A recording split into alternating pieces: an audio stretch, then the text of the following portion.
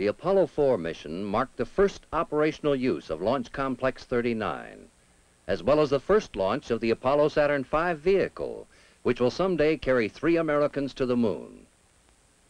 The major components of the Saturn V were manufactured and tested in several areas of the United States under the direction of the Marshall Space Flight Center and were shipped to the Kennedy Space Center for assembly and launch.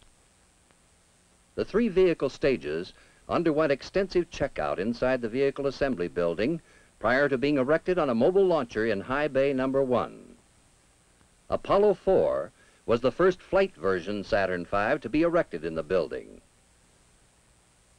Prior to assembly, the Apollo spacecraft provided by the Manned Spacecraft Center underwent extensive automated checkout and tests in Kennedy's Manned Spacecraft Operations Building.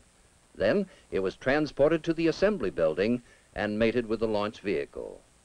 The Apollo spacecraft for this test consisted of operational command and service modules and a boilerplate lunar module. The Apollo Saturn V was subjected to electronic and mechanical checkouts in the high bay. The tests were monitored and controlled in the Launch Control Center adjacent to the Vehicle Assembly Building. The computerized equipment in Firing Room 1 of the Control Center was used to check out and launch Apollo 4. Government and contractor technicians operated the 218 individual consoles and 238 racks of equipment. At the completion of the VAB checkout, the launch escape system was installed on top of the Apollo spacecraft to complete the configuration. In the early hours of August 26th, the Apollo Saturn V began its journey to the launch site some three miles away. The vehicle on its mobile launcher was slowly moved to the pad by the 3,000-ton transporter. The Apollo 4 mission included several significant milestones in the program to land men on the moon and return them safely to Earth. The mission would require the first use of the launch facilities the first flight of an integrated all systems up Apollo Saturn space vehicle, the first flight of the booster and the second stage of the Saturn V, the first restart in space of the third stage, and the first demonstration of Apollo spacecraft performance entering the Earth's atmosphere at speeds greater than those previously encountered by spacecraft returning from orbital tests. After a five-degree climb to the top of the pad, the transporter moved the mobile launcher and the huge rocket into place on the launch site. The mobile service structure was then moved onto the pad. Five circular platforms on this structure provide access to the spacecraft for final checkout and servicing. A number of significant pre-launch tests were conducted from the Launch Control Center. The countdown demonstration test, a complete dress rehearsal of the 83-hour flight countdown including fueling all stages of the launch vehicle and spacecraft, began in late September. Several problems were uncovered and corrected during the demonstration count, which required almost two weeks to complete. A flight readiness test next included a tie-in with the Manned Spacecraft Center in Houston, from where the Apollo 4 flight was controlled. When pad testing was completed, a launch date for Apollo 4 was set for November 7th. A six-hour launch window opened at approximately 7 a.m. for an extended number of days. However, minor operational problems delayed the start of the terminal countdown until November 7th. Once begun, the countdown progressed smoothly. And on the afternoon of November 8th, the transporter moved the mobile service structure from the pad to its parking area.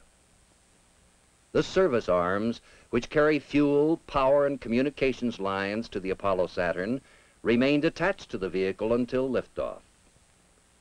The flight plan called for Saturn V to hurl the Apollo spacecraft and the launch vehicle's instrument unit and third stage into a 117-mile circular orbit.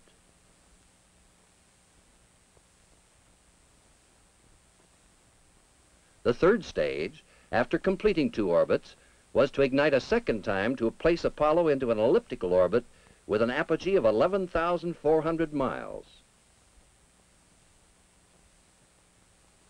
The second stage was scheduled to burn for six and one-tenth minutes to produce one million pounds of thrust.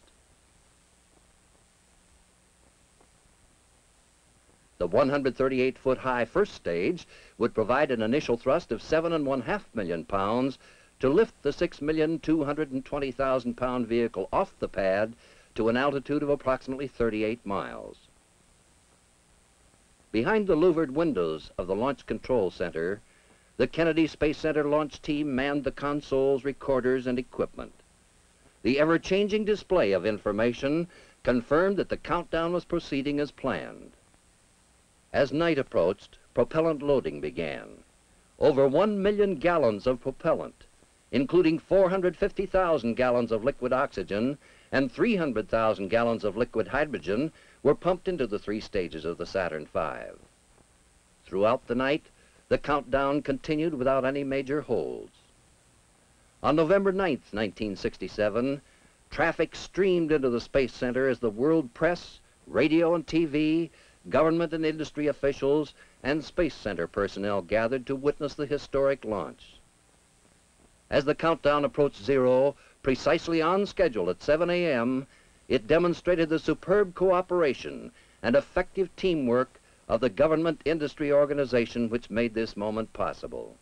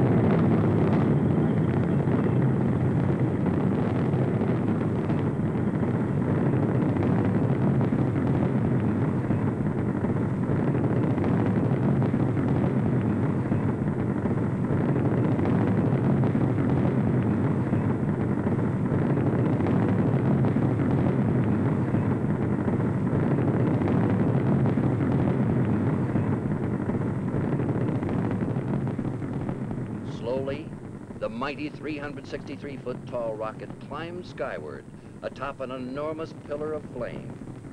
The five huge engines of the first stage burned flawlessly, generating seven and one half million pounds of thrust to initiate a mission that was also to be flawless and best described as a textbook flight.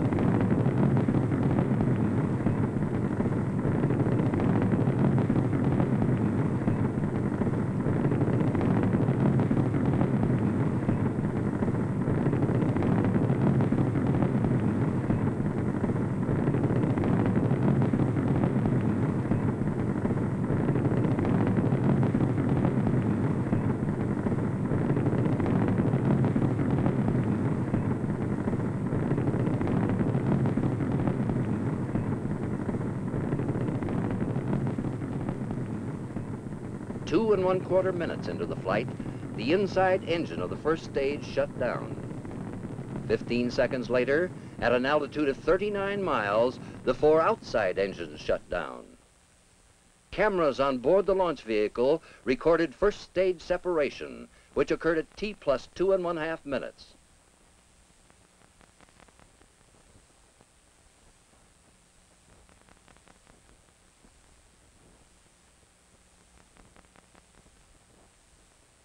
The separation was clearly visible to the thousands who watched the huge rocket climb into space. Shortly after second stage ignition, the spacecraft's launch escape system was jettisoned.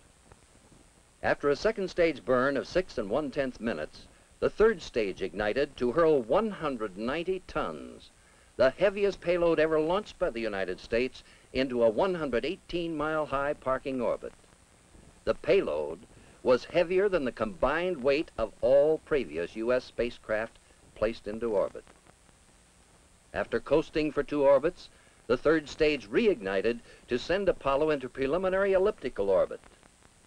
After separating from the third stage, the spacecraft's propulsion system was fired to raise the apogee to 11,232 miles. Eight hours and 36 minutes after liftoff from the Kennedy Space Center, the Apollo spacecraft landed in the Pacific Ocean within sight of its recovery ship, the aircraft carrier Bennington. Accelerated by a second burn of the service module engine, the spacecraft successfully re-entered the Earth's atmosphere at more than 25,000 miles per hour to test the Apollo heat shield at temperatures over 5,000 degrees.